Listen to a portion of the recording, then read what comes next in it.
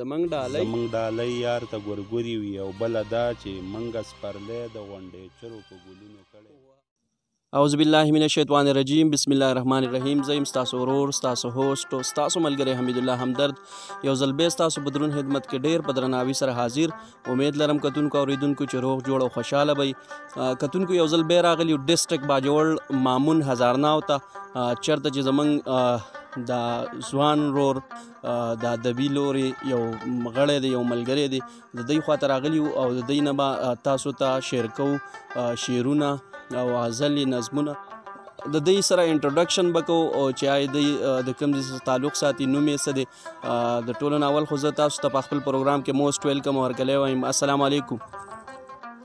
وعلیکم سلام ډیره مننه حمید الله صاحب تاسو تاسو د پوره ټیم تاسو د کیمرامین خاص طور د ټولو ملګرو چې موږ هم دومره عزت راکړو د کوم جنرال دلته زموږ خواله په دې مسؤلیتو باوجود نو ډیره مننه تاسو ثانک یو بنوا صاحب ستاسو نه پوښتنې کو کتونکو ته خپل تعارف وکي شارټ کټ انټروډکشن وکي چې تاسو د کوم ځای سره تعلق ساتي نوم هم څه دی مننه زما خو طارق عزیز نوم دی جی جی ادبي نوم یا کوم تخلص چې دی بینوا با جوړی دی او د هزارنا او مامون سره تعلق دی ډیره مننه اول خو زستا سو شکریا ادا کوم چیرې تاسو په دونه مصروفیاتو کې منګل ټیم راکو او ټیم هم راته وست ډیره مننه ډیره شکریا کتونکو د دې نه یو څو پوښتنې نورې هم لرو چې آی د کم وخت نه د ادب خدمت کوي او د کم وخت نه د ادب کې لګې دي شعرونه او نظمونه او غزلې لیکي بینوا باجوړي صاحب کوداره ته وایي چې د کم وخت نه تاسو د ادب خدمت کوئ یاره زه خو تقریبا د سکول د دور نه دا 1997 8 نه بس دغه لګې ټکه ټوکه شاعري کوو بیا باقاعده طور لکه کوم وخت نه چې په مشاعرو کې شرکت شروع کو وروسته هم بیا یو کتاب ولیکو نو دغه دوه هزار نه دغه شعر و شاعرۍ سره تړلي وو لګیا یو د شل دویش کال نه تاسو مهنت کوئ او په ادبي لوره کې تاسو ګډون کړی دی کتاب مو راغلی دی آیا که نه او کتاب خو زما یو د 2003 کال کې شایع شوی دی د سکڼي ماښام یادونو په نوم د سکڼي ماخام یادونو په نوم باندې تاسو دغه کتاب دی د غزل او نظمونو غزل او نظمونه دی پکې کنه نور هم پکې بس هغه کې خو نظمونه او غزل وي زما اصل کې غزل سره ډېر علاقه په دې ده چې په خپله مې خوښ دی دا غزل نو لیکلم کوشش کوم چې غزل ولیکم بینوا باجوړي صاحب مننه شکریا کو یو غزل مو راته وړاندې کو کتونکو ته نو په دې وخت کې تاسو ډېر کتونکي ګوري کو یو ښکلی شان غزل راته وړاندې کړئ نو ډېره مننه به ولې نه صحیح ده مهرباني زه به ته یو غزل ووایم د هغه نه مخکې به یو څو شعر ووایه ته واوره که نه ومنه ته واوره که نه ومنه دلبره داسې نه وه دلبره داسې نه وه ته واوره کنه ومنه دلبره داسې نه وه دې خلکو چې څنګ وکړه دا خبره داسې نه وه. ډېر ښه زبردست. او چې اوس یې د غربت دوړې په تور اوربل بادېږي. چې اوس یې. چې اوس یې د غربت دوړې په تور اوربل بادېږي د واو. ټول کلي سرداره ناز پروره داسې نه وه. ډېر ښه زبردست. او زما د مئینتوب کیسه. دا تا چې څنګه کوله زما زما د مینتوب قصه دا تا چې څنګه کوله زما د مینتوب قصه د سره داسې نه و ډېر ښه زبردست او دا یو غزل دی چې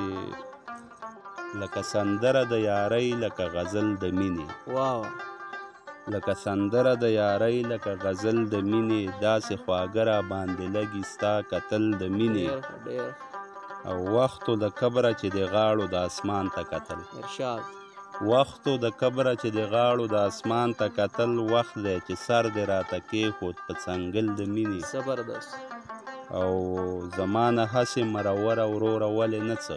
زمانه زمانه هسې مروره وروره ولې نه څه پېښور تل قرباني شوی د کابل د مینې زبردست او یاد دي شي دې اختر او تیر اختر کې څه فرق و یاد دي شي یاد دي شي دې اختر او تیر اختر کې څه فرق و چې ګلونه مو یو بل ته ورکول د مینې زبردست واو او یو د نظر اشارتونه زړه کې لارې کوي یو د نظر یو د نظر اشارتونه زړه کې لارې کوي بل په د پورې بام سیلی سیلی وربل د مینې او بینوا هسې د یو چا د خولې خبره ده چې بینوا بینوا هسې د یو چا د خولې خبره ده چې په رقیبانو د اشنا خواږه ویشل د مینې ډیر زبردست ډیره شکریا بینوا صاحب چې غزل مو راته وړاندې کو ریکویست نه یو ځل بیا کوم چې کتونکي ستاسو د غزل په انتظار دي کو یو غزل مو راته بل وړاندې کو د کیمرې مخې ته نو ډیره مننه به کوم